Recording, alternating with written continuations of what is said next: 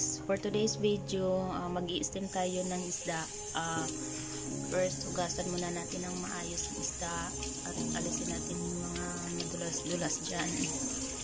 Kailangan malinis ng maputi ang isda. Simple lang ang steam fish dito. Sariwa naman kasi ang isda kaya hindi kailangan na ano.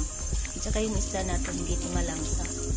Kahit uh, wala siyang ano, asin lang ilalagay mo then spring onions. Ayos na ayos na yan masarap yan mamaya